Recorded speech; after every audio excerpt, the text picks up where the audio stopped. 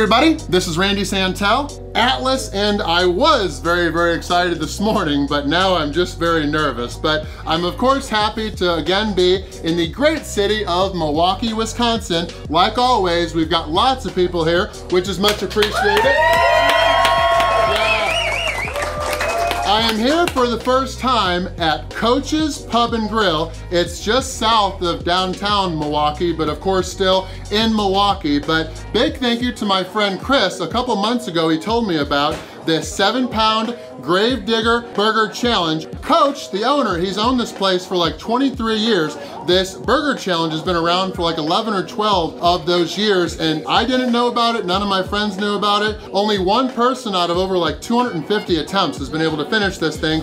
This challenge is actually named after Mr. Gilbert Brown. It was his nickname, a retired Green Bay Packer. Apparently him and another lineman tried to eat this as a team and they still couldn't finish. But thankfully, there's only two pounds of delicious, juicy ground beef on here. There's 16 slices of American cheese, 16 big pieces of bacon, pretty much a frickin' salad on this thing. There's a giant handful of lettuce. There are 16 slices of tomatoes, a whole bunch of pickles, tons of onions. I think this bun is well over a pound. I've got to finish this entire basket of their crinkle cut fries too. So I think it's all around seven pounds total. The best part of this is if I fail, it's only $39.99. So 40 bucks if I lose. But if I do win, which we're gonna do that, we're gonna dominate today. I'll get my entire meal for free. I will get a sweet Coach's t-shirt to add to my collection, and I will be the second person with my name and photo up on the wall of fame. Let's get this challenge started.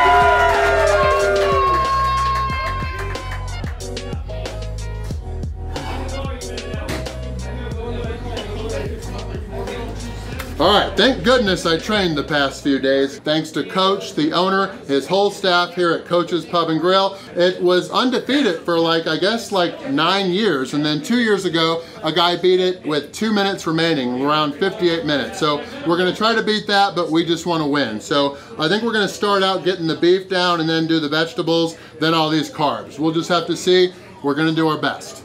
One, two, three. Boom! Okay. Look at this freaking bun. That is crazy. The uh, the actual beef with this thing's pretty manageable. It's all the stuff with it. That is good.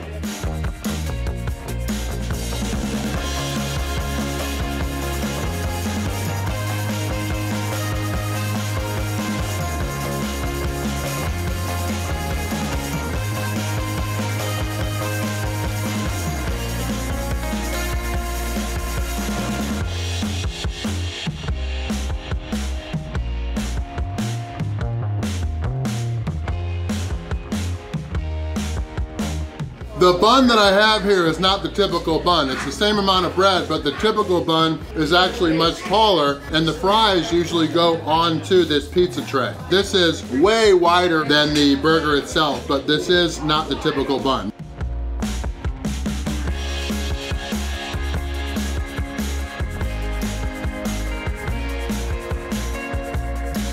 A lot of pickles on this thing.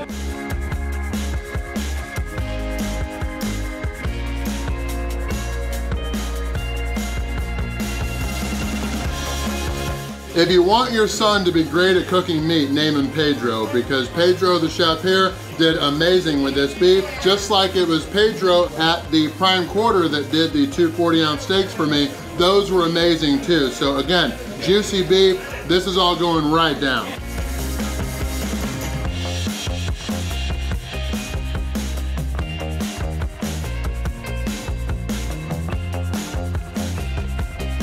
Pedro saw this shirt and knows that I love healthy vegetables and he gave me quite a few. All the fiber is gonna help get all this beef down.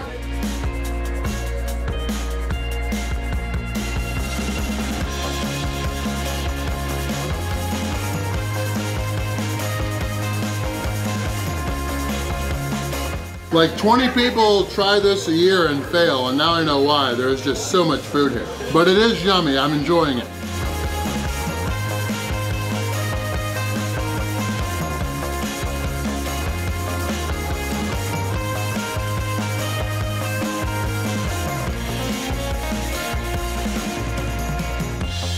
I wasn't gonna win this thing, but then my friend Ken quit fishing early today so he could come watch me eat. Much appreciated.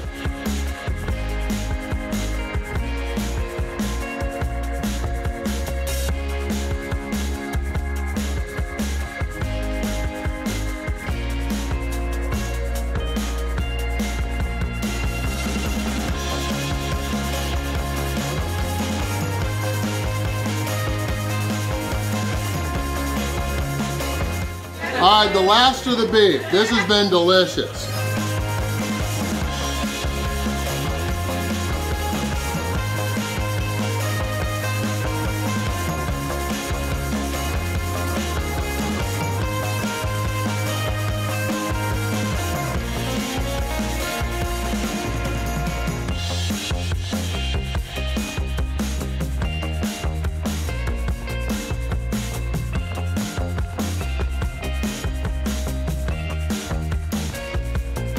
This bun is giant, but thankfully it's not as chewy as some of the others I have done. Let's just crush it and get it down.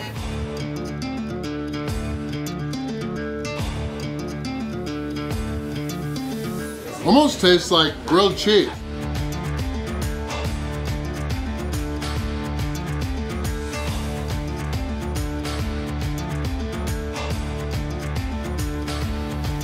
The soda is going to be very key to winning this challenge.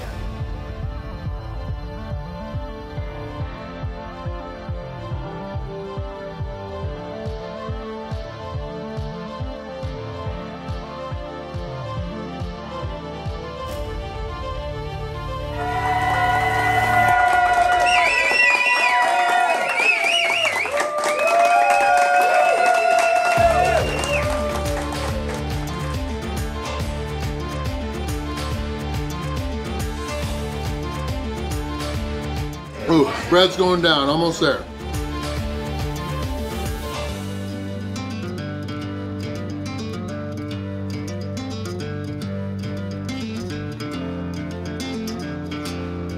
I am gonna beat the record as long as I finish in under 57 minutes.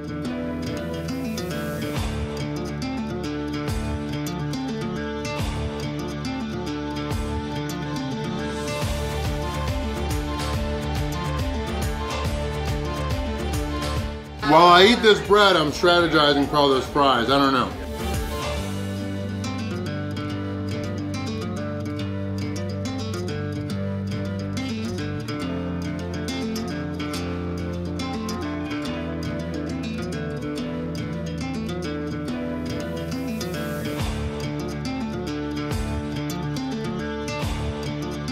We're 30 minutes and 53 seconds in. I told Pedro less is more for fries and he did not listen.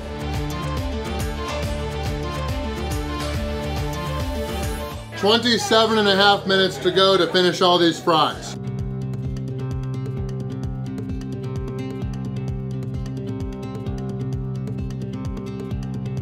Oh, I'm gonna make Katina proud and use some Heinz. Oh no, this is French's. It really doesn't matter. Ketchup's ketchup.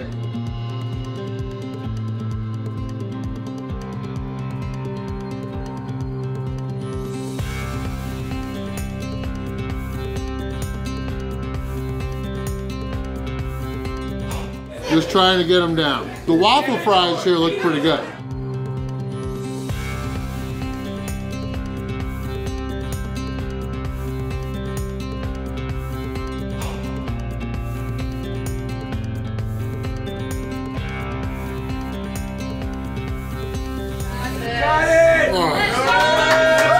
Thirty-nine minutes, 38 seconds. We still got 20 minutes to go.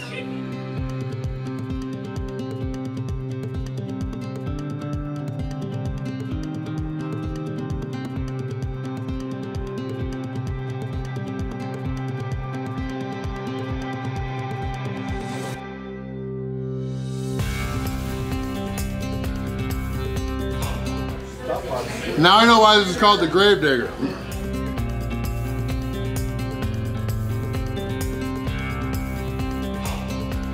Forty-four minutes.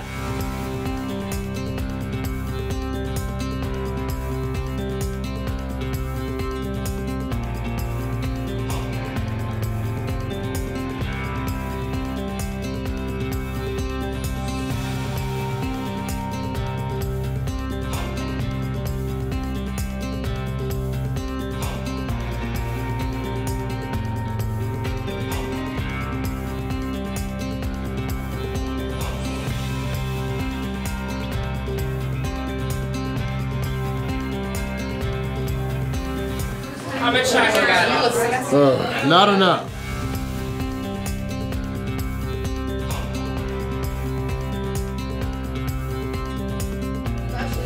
Oh.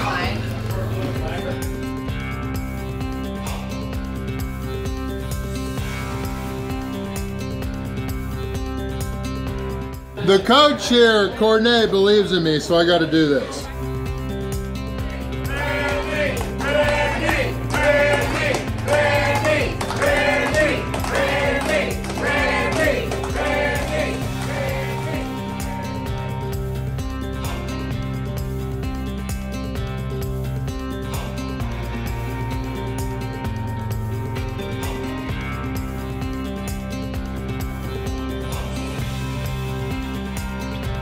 Not quite domination, but we got. it.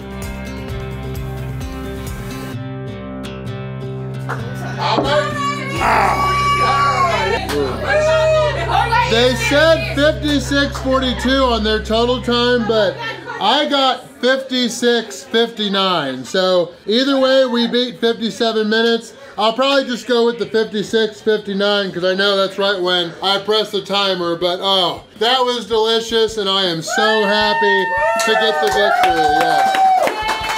I do not feel like a winner and I do not look like a winner, but I will, I will later because I did not dominate, but I did defeat the Gravedigger Cheeseburger Challenge here at Coach's Pub and Grill off of South 13th Street. That challenge was so good. My favorite part, definitely the meat. Pedro, the chef, did an awesome job cooking that meat. So many healthy vegetables on there. That was all great. I really just wanted to get that bun and all those fries down. But yeah, no complaints. I got the win. I am going to get my $40 cheeseburger meal for free. Come in not only just to try the burgers here, but my friend Chris, who told me about this challenge, said the chicken was really good here too. But Coach's has been around for over 23 years. In order to stay around that long, they've got to have some awesome food. Great atmosphere here too. Happy I was able to get overall win 1,043 here.